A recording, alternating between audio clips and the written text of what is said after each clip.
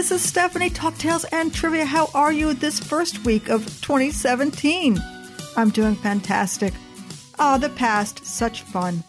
These last couple of days of the new year have brought with them memories of long ago. Yes, my childhood memories. And how we as children loved the easier things of life friends, sleepovers, games, snow days, and blanket forts and fun created only by our own imagination. What were your favorite things to do as a child? We all think back at one time or another about how wonderful certain times in our young life were. I actually have quite a few things I love, but in this episode we'll focus on one of my all time favorites. Perhaps, just perhaps, it's one of your favorites too. Saturday morning cartoons were my all time favorite, and actually Saturdays in general were so much fun for me. But who remembers Underdog? Well, I should say, who doesn't remember Underdog? He was a lovable little beagle, wasn't he? If you grew up in the United States and were around in the late 60s and early 70s, like myself, you surely recollect this classic cartoon. Why was it a fond memory for me? We'll get to that a little later in the episode. Underdog debuted in 1964 on the NBC network under the primary sponsorship of General Mills and continued in syndication until 1973 with 124 episodes. The syndicated version of the Underdog show consists of 62 half hour episodes, most of which can be found on YouTube, ready for some serious weekend binge watching. Almost all that watch, no matter what your age, will somehow fall in love with the main character. You see, Underdog was Shoeshine Boy's heroic alter ego who saved victims of crime or emergency, such as a mother who lost her son, but also suddenly appeared whenever his love interest, Sweet Polly Purebred, needed saving, or villains such as Simon Bar Sinister or Riff Raff would make their appearances to create havoc on the city. It was fun to see him disappear in a telephone booth and emerge as underdog.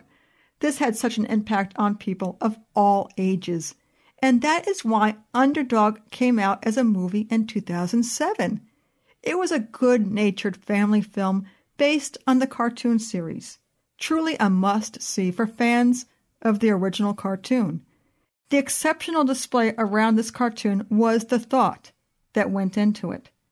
The playfulness of a flying dog who was a superhero could really never happen. It was fantasy. You see, he wasn't like all the other superheroes out there at the time. He was clumsy, imperfect, and innocent, and to me, lovable. He was noble and good natured. He had a heart and believed, most times, in the good natured spirit of people. I remember it being funny how Underdog always spoke with a rhyming voice, which was adorable. His famous catchphrase being, There's no need to fear, Underdog is here. My tale for this episode is all about Saturday mornings when I was young. Let me set the scene. A sunny day, no school, and waking up to the smell of coffee and my father whistling in the kitchen. A great family breakfast was next, which usually was a lot of bacon, eggs, and coffee that consisted of mostly milk. It was delicious. And cartoons were always a part of the weekend mornings. Life was good, full of adventure and fun. And of course, Underdog was part of the big picture. You see, what I now know is something I didn't know then why I had a true love of the character. Underdog was a true hero for me because he had faults and wasn't what we consider traditionally perfect. I loved him for that. If you were now to look up the definition of what exactly an underdog is, you will find the answer of why I felt the way I did and still do about him. The definition from the Cambridge Dictionary is the weaker of two competitors or anyone not expected to win a competition. From the Free Dictionary, we find a person with less power than the rest of society. a person that is expected to lose a contest or struggle, as in sports.